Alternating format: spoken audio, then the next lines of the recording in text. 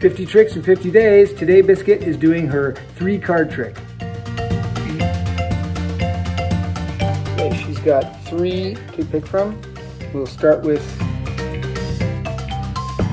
which one? Biscuit, where are you going with the card?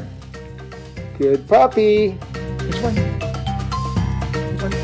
Oh, good puppy. This one? Oh, you're right again.